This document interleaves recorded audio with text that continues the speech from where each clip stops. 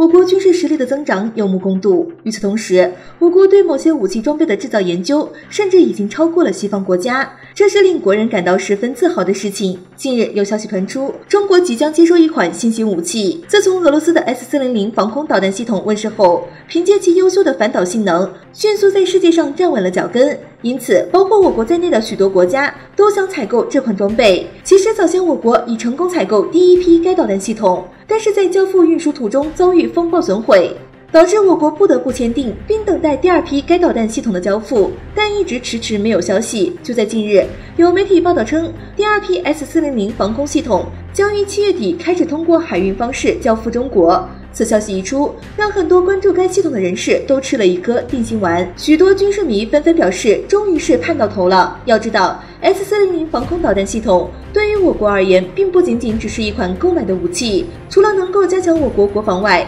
更重要的一点在于，有利于我国借助该系统来研究出更加先进、更适合我国的防空系统。因此，该导弹系统对于我国的重要性不言而喻。据了解，此次交付中国的 S 四零零包括团指挥车、S 四零零发射车、装填车、雷达、能源补给装备和配件等。同时，为了避免发生上次被自然条件干扰甚至损毁的事件，这次俄罗斯向我国交付整套设备时，将会使用三艘货船，并且这三艘货船将会在不同时间起航。更有意思的是，一般国家都会选择购买 S 四零零系统中的射程远达四百公里的四零 N 六导弹，但我国采购的却是反导能力更强的四八 N 六一三导弹，这点的确很让人意外。其实这样做也是意料之中，毕竟我国在防守方面已经做得几乎完美，不管是什么样的装备，都会配上一套高水平的防御系统。同时，我们需要知道，即便装备攻击能力再强，没有好的防御系统，同样会一瞬间化为乌有。